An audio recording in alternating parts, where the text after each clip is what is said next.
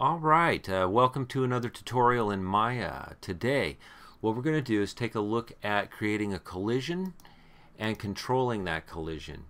Uh, in essence, we're going to make a sphere bump into some text. That's all. It's real simple.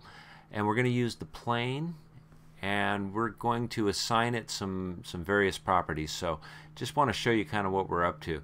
Uh, why would you want to do this? Well, what we need to do, uh, a lot of times you can't hand animate stuff like this, and you have to use a solver, something that um, takes over the physics of that reaction and carries it through. So that's very hard to keyframe by hand, and uh, you might be doing a titling sequence or something like that, and um, you might need to, to make something fly out with a kind of like it was impacted by an object or something. And um, there's a cool way to do that. So let's take a look at this scene real quick. Um, you'll notice that I have a sphere, some text, a plane down here, and we're working with active and passive rigid bodies. So essentially that's what we're going to do. Um, I'm going to push this on pause here for a second. We're going to go back to um, kind of where I started. Um, I'm going to open that scene and I believe it was this one and I want to open that one and we'll go ahead and save the changes there. So essentially here's where I started. Um, and what we're going to do is create this. First what you want to do is just create a plane and create a sphere, create some text, and then you know sprinkle some some uh, point lights kind of around the scene. And uh, so mess with that real quick. Go ahead and push pause and um, set that up. Okay, so now you can see what I've done. I've put the sphere a little bit above the grid and then I've created the plane and put it a little bit below the grid and uh, the text is sort of sitting there in the middle.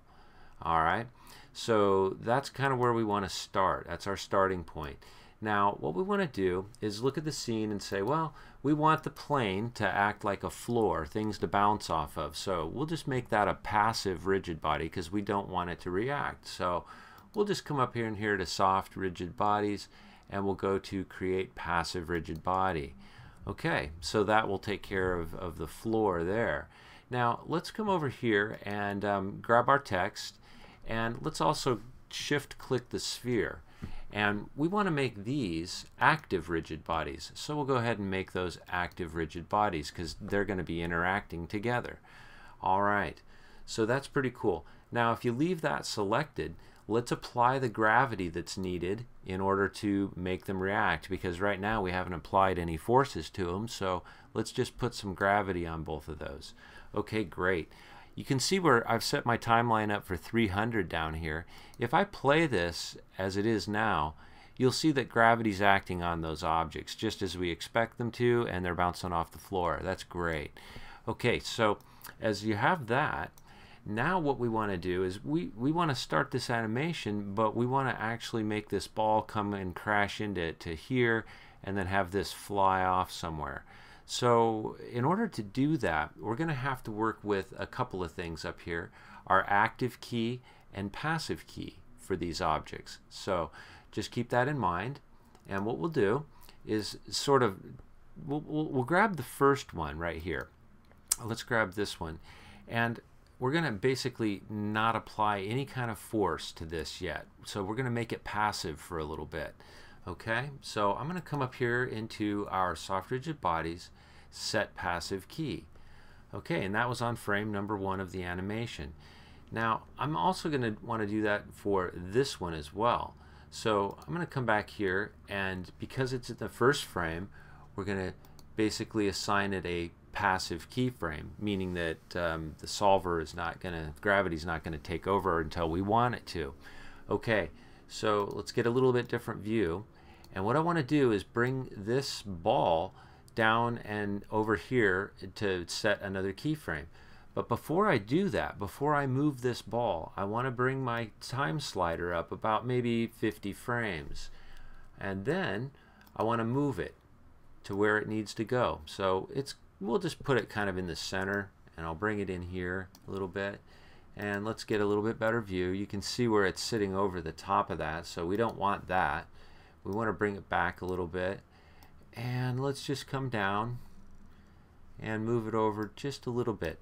Now it's important not to have any of these objects touching each other um, like the plane or, or the sphere or your text as you're doing this because the solver won't work. Uh, your simulation sometimes, a lot of the time, won't work or certain things won't go right. So you have to be very aware of that. So you can tell where there it is piercing the plane. I don't want that. I want to keep it just a little bit above and I don't want it piercing into the side of this text either. So we'll just sort of leave it like that. Now, if you look at our angle of view here, uh, this will create a straight bump. And I actually want it to be, oh, a little bit less. So I'm going to I'm to see if I can bring this down a little bit more. And uh, we'll see how far we can go with that. Now it goes into there. Okay, so we'll leave it like that for the moment. All right, and there it is. So now we want to set that keyframe, but what we're going to do is make that an active keyframe now. And we'll set that for active right there. Okay, now we're going to click on this text and because it's at the same place we can kind of get away do with doing it this way. We can come up here again and now we can activate the text at that point. Okay, so when I rewind this animation now, let's take a uh, let's take a different view. Let's go to the front view. I'm going to zoom in here a little bit. If I play this animation from the start, you can see where boom it goes in and it hits that object and there it goes. Okay, so what's cool about this? Well, our gravity that we applied to both of these objects does not even start happening until that keyframe at about 50 frames. And that's when we made everything active right now. So it basically uh, lets you keyframe an object to hit something to cause a reaction. Think of like a, a pool uh, ball hitting, you know, the, the cue ball hitting the rest of the balls. Um, it's actually outlined in the Maya um, documentation, so that's how you do this. So anyway, that's all we've done. And it's going to take a little bit of practice from here on out to set your keyframes correctly, or not set your keyframes, but just vary the properties of this reaction. So in this case, Let's click on the plane and take a look at the plane for a second. Um, if we come up here into our tabs and you oh, come to the tabs, go to your plane, um, go to the plane shape, and then it should have that that solver, that rigid body one solver on there. Let's look at one thing. Let's look at our bounciness to begin with because um, that we really can work with quickly. So Right now it's at a default of 6. Let's play it, see what happens. Okay, it goes, the text just kind of skids across the plane there. Alright, that's kind of cool, but let's look at what happens when we take that bounciness and increase it. Let's just give it a let's just give it max bounciness right there at 2. Okay, so now if I rewind the animation and play it through, you'll see where it's going to hit that plane and it has a little bit more bounce to it. Now it's now it's starting to take off. So that's cool uh, too. But let's do this. Let's zoom out a little bit and maybe take a little bit different view as our animation is happening here. Let's bring our bounciness back down a bit. Um, let's bring it to about there. And in this case, let's reduce the friction a little bit and maybe reduce the dynamic friction a little bit. We'll go ahead and rewind it to frame one and there you go. Okay, so it's bouncing a little bit, not a lot, but let's change that up. You can keep playing around with these quite a bit um, once you have your simulation set up like this. So, um, you know, be aware that uh, you you can uh, you can change things out. So, check this out. There it is. Now, let's do something else let's look at the gravity. Um, let's come into our, um, well, all right, let's click on uh, our outliner and we want to we want to find out what that gravity is doing. So let's come down, let's grab the outliner.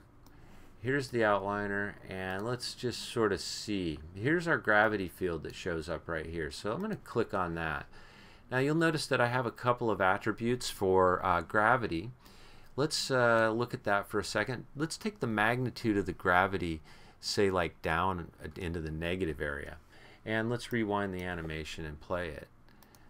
And we'll see what happens. Okay, so completely different reaction when it goes into the negative. Um, maybe we'll we'll take it a little less into the negative and just sort of a little bit of negativity. Not a good thing. Always got to be positive. But you can see where that starts to do kind of what I wanted to do.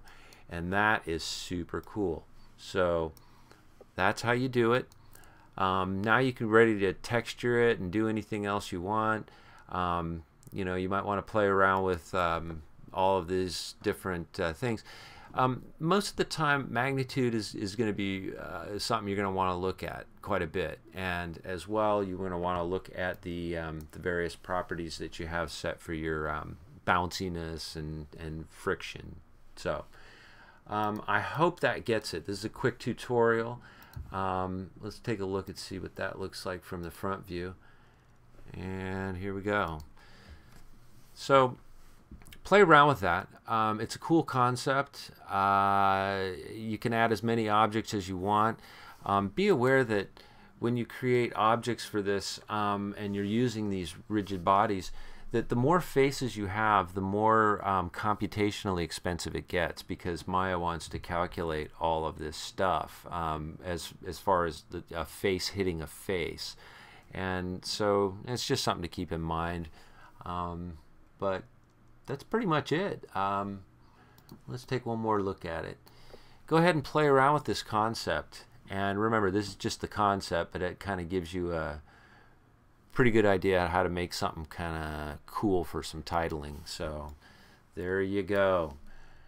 All right, well, so hope you had a good time with this tutorial and learned something. And um, remember, read a book every day or night, and um, stay tuned for the next tutorial.